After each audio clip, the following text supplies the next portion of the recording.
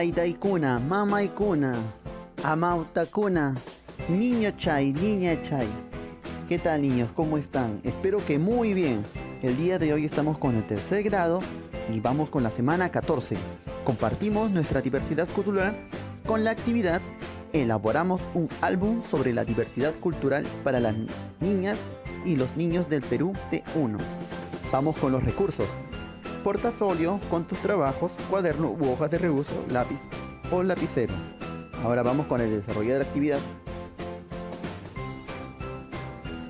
En estas dos semanas hemos tenido la oportunidad de, de, conocer manifestaciones culturales y la diversidad que tiene nuestro gran Perú. Conocimos sus platos típicos, bailes, juegos. Y hoy tendrás la oportunidad de planificar tu álbum relacionado con la diversidad cultural que hay en el Perú. Nuestra meta será planificar nuestra elaboración del álbum sobre la diversidad cultural. Muy bien. Ahora, recuerda que para hacer el álbum lo que vamos a necesitar es elegir un tema sobre qué costumbre, música, danza, comida, lenguas o juegos vamos a hacer. ¿Cuál de ellas vamos a hacer? ¿Ok? Vas a escoger también el tamaño del álbum. ¿De qué tamaño quieres que sea? Elaborar tu portada, lo que va a ir adelante del álbum y el índice, cómo va a estar distribuido tus imágenes. ¿Ok? Ahora vas a escribir la información sobre la costumbre, la música, danza, comida que hayas pensado hacer. ¿Bien? No te olvides de escribir los títulos y subtítulos para ubicarlos juntos a las imágenes, para que se entienda mucho mejor. ¿Bien? Ahora, ¿qué te parece si te muestro un álbum elaborado por Paco de Moyobamba? Vamos a verlo. Mira, aquí está el álbum de Paco y en, su álbum dice La riqueza de mi país. Y mira lo que dice su índice. Presentación, comidas típicas, juegos tradicionales, lenguas, Y ahí como ves, está mostrando las comidas de su región, que es de la Amazonía. Mira, las comidas, por ejemplo, el tacacho con cecina, ¡uy, qué rico! El Juan, ¡uy! con sus juegos tradicionales, el ron ron, y también sus lenguas.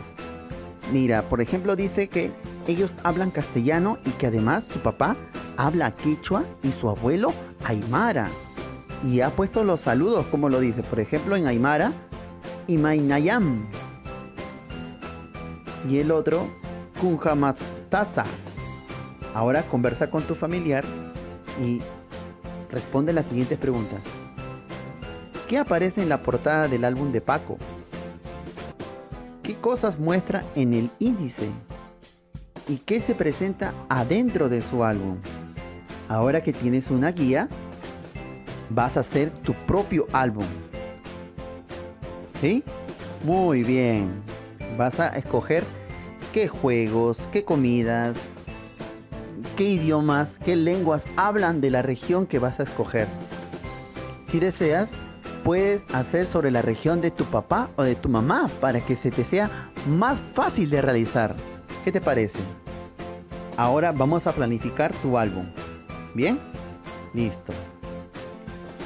Ahora, para que verifiques que tu álbum esté bien hecho, acá vas a leer la ficha de evaluación que tiene que contener tu álbum.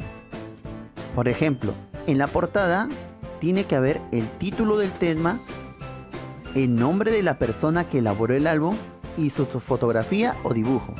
O sea, vas a hacer en la portada, vas a poner tu nombre y tu foto o dibujo. ¿Ok? Y en el índice vas a poner los títulos y los subtítulos del contenido. O sea, sobre las imágenes que van a ver adentro. Y en el contenido vas a presentar la información, dibujo, fotografías. Según la costumbre o tradición que escogiste. Bien, los títulos y subtítulos dentro deben estar con letra clara y grande.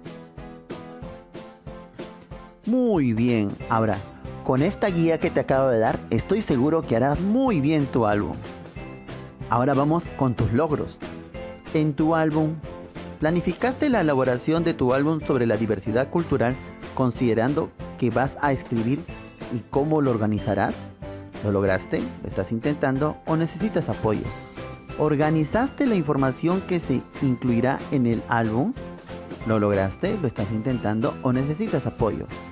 ¿Analizaste las indicaciones y los criterios que debes tener en cuenta para la elaboración de tu álbum? ¿Lo lograste? ¿Lo estás, lo estás intentando o necesitas apoyo? O sea, en resumen, lo que tienes que lograr es hacer un buen álbum, respetar el título, el contenido, lo que va a tener las imágenes y los títulos y subtítulos de esas imágenes.